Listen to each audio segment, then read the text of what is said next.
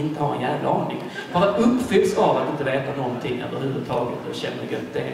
Och jag har under de här åren verkligen funderat på hur ser en agnostisk TV-pastor ut egentligen? Han ingen vanlig TV-pastor ska vara. Nej, en agnostisk TV-pastor har förstås silverhängslen.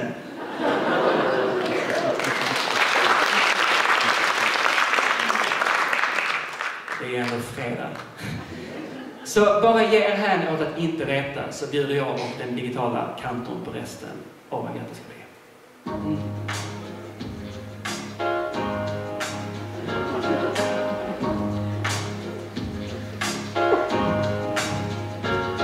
Om man ska sammanfatta skapelsen med en enda line.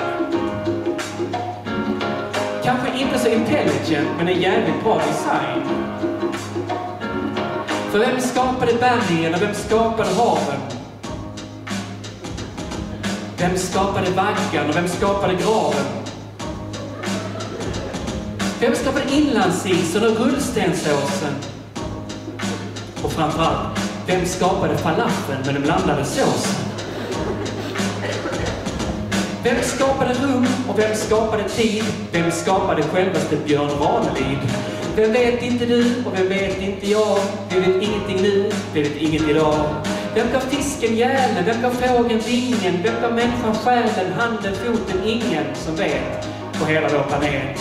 Och det är stort att ingen vet. Det är skönt att sväva runt i ovisshet. Det är härligt att ha en liten hemlighet. För visst gör det ont när ovissheten brister. Varför skulle annars själva tvivlet tveka? Visshet vissnar och det vissnar tills vi mister lusten att söka och leka. Jag tvekar passionerat, jag tvivlar allt jag kan. Jag sticker ut min haka och jag säger jag vet det fan.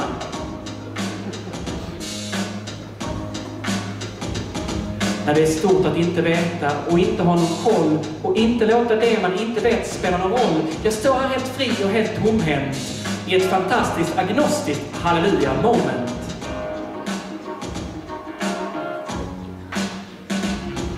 Det finns ingen som sett någon som styr eller ställer. Varken Gud eller inte, varken varken eller eller. Jag vet, jag är jävla röv. Det där snodde jag från Gunnar Ekelöf. Tänk om det händer något efter döden. Tänk om det inte gör det. Tänk om det händer något före döden. Och det gör det. Och ingen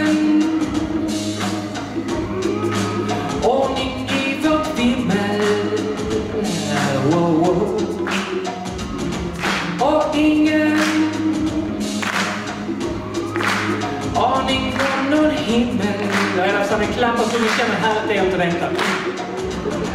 Och ingen Och i vårt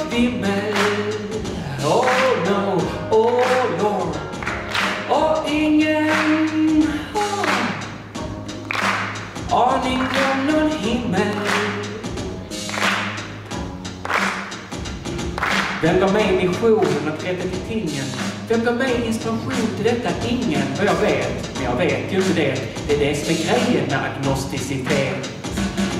För inget kan gå galet, vi hoppar över valet. Vi lever kvar i skalet, varken hackat eller malet. Jag har ingen aning, ingen susning. Känn ovisshetens frälsning och berusning. Och ingen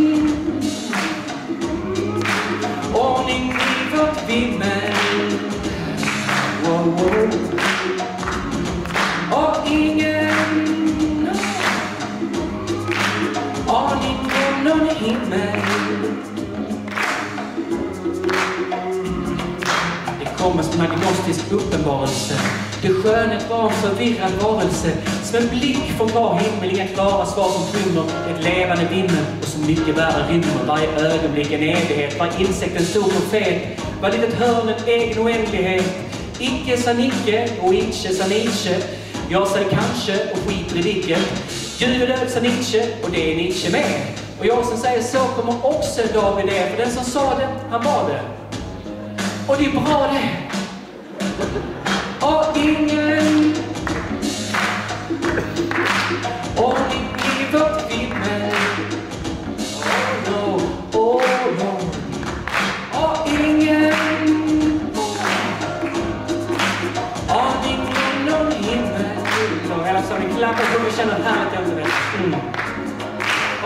ingen. Ordning i vårt vimmel. Åh, åh, och ingen. Ordning om någon himmel. Och ingen. Ordning i vårt vimmel.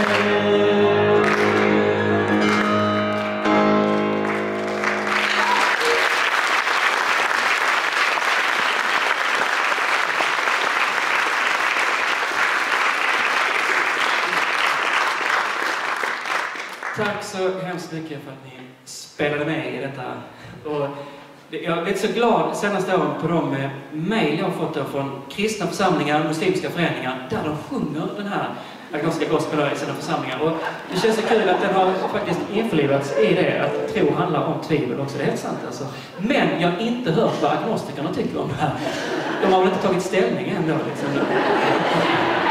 Både och. Å ena sidan bra, å andra sidan då. Hur som helst, så när vi är inne i skönt eh, religiöst mod så tänkte jag gå över till det här med kärlek. Steget är inte så långt som man ibland kan tro.